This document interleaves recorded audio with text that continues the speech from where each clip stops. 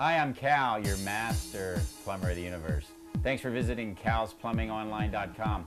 What I'm going to show you today is how to change out compression angle stops. So that's kind of, you may see something like this under your sinks or to your toilets.